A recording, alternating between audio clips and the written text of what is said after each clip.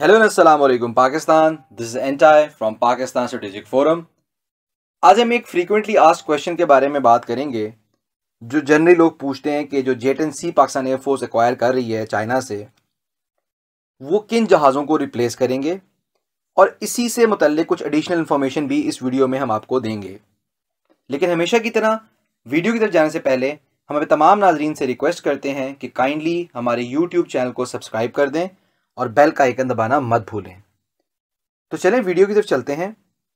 एक common question पूछा जाता है पाकिस्तानी डिफेंस एंथुजियस्ट की तरफ़ से या जो लोग डिफेंस की न्यूज़ पे नज़र रखते हैं उनकी तरफ़ से कि जेट एन सी जो है वो किन एयरक्राफ्ट को रिप्लेस करेगा।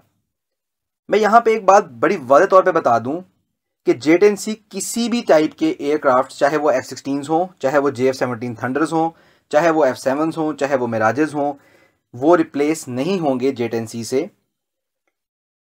जिस स्क्वाडन में जेट एन सी को इंडक्ट किया जा रहा है नंबर फिफ्टीन स्क्वाडन जिसका नाम कोबराज है, उसके जो मेराजिस थे, उनको भी एक नया स्क्वाडन बना के उसमें शिफ्ट कर दिया गया, किया गया है, जिसका नाम सफ शिकन है and if I am not wrong ये number fifty tactical attack squadron है। कोबराज के अंदर जेट एंड सी जो है, उनको इंडक्ट किया जा रहा है, और ये बात ऑफिशियली पाकिस्तान एयरफोर्स ने कंफर्म भी कर दी है। जेट एन सी का रोल क्या होगा? थोड़ी इसके ऊपर बात करते हैं सिंस कि ये किसी भी एयरक्राफ्ट को रिप्लेस नहीं करेगा। जेट एन सी जो है, वो स्पेयर हेड होगा पाकिस्तान एयरफोर्स का। अब स्पेयर हेड का मतलब ये होता है कि सबसे पोर्टेंट त्यारा या सबसे खतरनाक त्यारा या सबसे अच्छा त्यारा।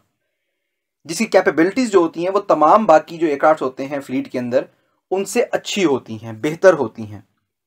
ये बिल्कुल इसी तरह ही है, जैसे इंडियन एयरफोर्स ने रफेल को इंडक्ट किया, लेकिन उन्होंने सू थर्टी एम की आई या मिग 29 या बाकी जो उनके एयरक्राफ्ट हैं, उनको रिटायर नहीं किया। मिग 21 की जो रिप्लेसमेंट है, वो तेजस से होगी, वो एक अलग सब्जेक्ट है। तो किसी बेहतर एयरक्राफ्ट को इंडक्ट करने का मकसद ये होता है कि जो बाकी एयरक्राफ्ट होते हैं, वो उसको सपोर्ट कर रहे होते हैं, लेकिन जो मेजर एयरक्राफ्ट होता है, वो बेसिकली स्पेयर हेड होता है, यानी कि main most potent most dangerous most capable त्यारा होता है उस एयरफोर्स का। यहाँ पे मैं यूएस एयरफोर्स की भी एग्जांपल दे देता हूँ।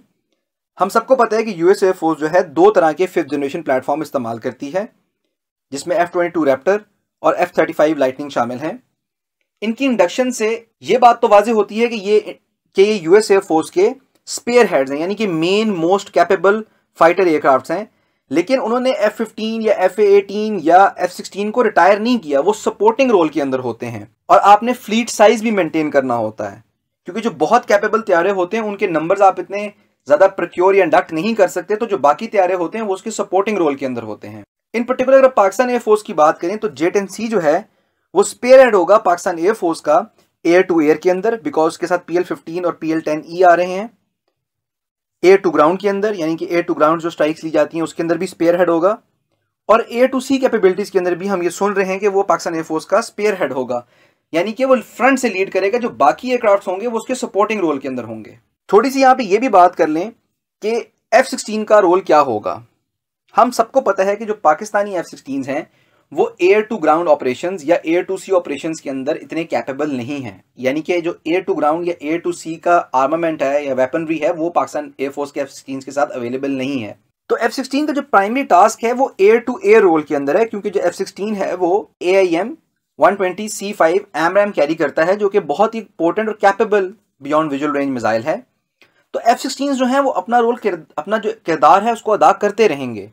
लेकिन फिर बता दूँ कि जो स्पेयर हेड यानी कि जो मोस्ट कैपेबल त्यारा है, वो जेट एन सी ही होगा। क्योंकि जेट एन सी के अंदर कुछ ऐसी कैपेबिलिटीज हैं, जिसके, इसके अंदर जो मैंशनेबल हैं तीन चार वो मैं बता देता हूँ। पी एल फिफ्टीन मिज़ाइल जो कि एक बी वी आर मिज़ाइल है, और उसकी रेंज डेफिनेटली जो है, वो एम रैम से ज़्यादा है सी फाइव वेरियंट से। इसके अलावा पी एल टेन जो कि एक HOBS capable within visual range missile है हॉप्स बोलते हैं हाई ऑफ़ बोर साइड को। इसके अलावा, उसके अंदर आई आर एस टी मौजूद है। Infrared search and tracking system है बेसिकली वो। ए एस से रडार मौजूद है और बाय द वे जो जेट एन सी का ए ई एस से रडार है, वो J F seventeen block three के ए ई एस रडार से बेहतर है। मैंने पहले भी ये बात बताई हुई है मल्टीपल वीडियोस के अंदर कि जो जे एफ़ सेवनटीन थंडर है, वो लाइट कॉम्बैट एयरक्राफ्ट है, जिसको आप एल सी ए बोलते हैं। जो जेट एन सी है, वो मीडियम वेट फाइटर एयरक्राफ्ट है।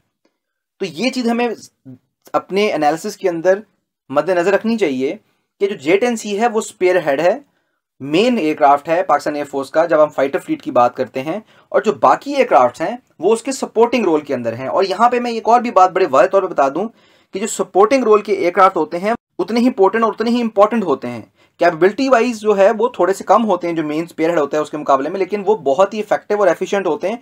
उनका अपना रोल होता है। यूएस एयरफोर्स और इंडियन एयरफोर्स की एग्ज़ाम्पल इसलिए कोड की है ताकि आपको सिचुएशन और जो एक मेथडोलॉजी है वो समझ आ जाए कि सपोर्टिंग रोल एयरक्राफ्ट क्या होते हैं और जो स्पेयर होता है उसमें फ़र्क बेसिकली क्या होता है। फिर कुछ लोगों ने ये बात भी की कि जो एडिशनल एफ़ सिक्सटीन की बात चल रही है, हम वो क्यों प्रोक्योर कर रहे हैं जब हमने जेट एन सी प्रोक्योर कर लिया है।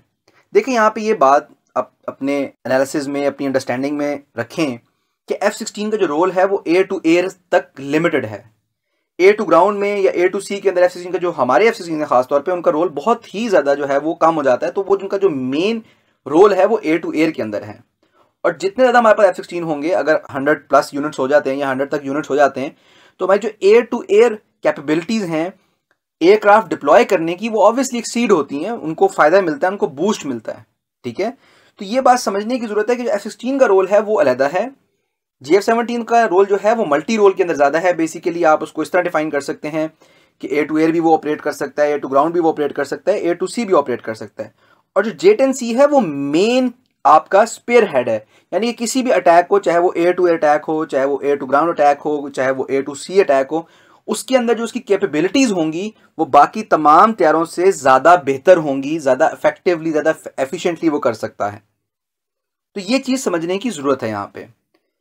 बहुत से लोग फिर ये पूछते हैं कि मिराज का क्या होगा, मिराज कहाँ जाएँगे? देखिए, Mirage specifically dedicated dedicated aircraft हैं ग्राउंड स्ट्राइक्स के लिए।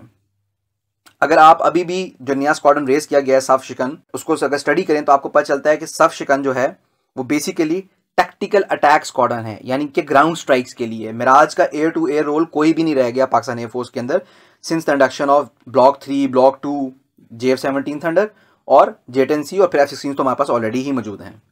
तो ये कुछ चीज़ें हैं जिनको थोड़ा टेक्निकली समझने वाली चीज़ें हैं तो मैंने सोचा कि इनको कुछ एक्सप्लेन कर दूँ एक वीडियो के अंदर बिकॉज़ बहुत ज़्यादा क्वेश्चन आ रहे थे इस हवाले से। अब बात कर लेते हैं एफ़ सेवन की। देखिए F seven P already retire retire कर दिए गए हैं, और एफ़ सेवन पी जी भी जो है, वो आहिस्ता आहिस्ता रिटायर कर दिए जाएँगे। याद रखें कि जो एफ़ सेवन पी है और एफ़ सेवन पी जी है, उनकी कैपेबिलिटीज़ के अंदर फ़र्क है। जो एफ़ सेवन पी जी हैं, वो ज़्यादा कैपेबल हैं। तो एफ़ सेवन पी जी भी जो है, कुछ अरसे तक अभी ऑपरेशनल रहेंगे और उसके बाद जो है उनको रिटायर कर दिया जाएगा और इनकी जो रिप्लेसमेंट है वो J F seventeen Thunder block three से होगी। तो ये कुछ सिचुएशन है जिसको बहुत से लोगों के क्वेश्चंस थे जिसको मैंने फैसला किया, हमारी टीम ने फैसला किया कि इसको एक्सप्लेन कर दें वीडियो के अंदर कि किस तरीके से ये प्रोसेस चलता है या किस तरीके से इस प्रोसेस को चलाया जाता है प्रोफेशनली मैं आखिर में फिर एक दफ़ा बहुत वाज तौर पे बात क्लियर कर दूँ कि जो जेट एन सी हैं, वो स्पेयर हेड रहेंगे most capable most effective most efficient most potent fighter aircraft होंगे पाकिस्तान एयरफोर्स के। उनको सपोर्ट करने के लिए एफ़ सिक्सटीन होंगे एयर टू एयर रोल के अंदर। सिंस मैंने आपको पहले ही बता दिया है कि एफ़ सिक्सटीन जो है वो एयर टू ग्राउंड रोल के अंदर या एयर टू सी रोल के अंदर पाकिस्तान एयरफोर्स जनरली डिप्लॉय नहीं करती। ना ही हमारे पास उतनी कैपेबिलिटीज़ हैं इसको एयर टू ग्राउंड और एयर टू सी में डिप्लॉय करने के लिए। बेसिकली हमारे पास वो वेपनरी नहीं है, वो आर्मामेंट्स नहीं है जो एयर टू ग्राउंड में एफ़ सिक्सटीन डिप्लॉय करता है या एयर टू सी के अंदर डिप्लॉय करते हैं। हैं बस लिमिटेड हैं लेकिन। उनकी मैं डिटेल में नहीं जाता। इसी तरीके से जे एफ़ सेवनटीन थंडर को जे टेन सी सपोर्ट करेगा। एयर टू ग्राउंड ऑप्स के अंदर एयर टू ग्राउंड ऑपरेशंस के अंदर एयर टू सी ऑपरेशंस के अंदर।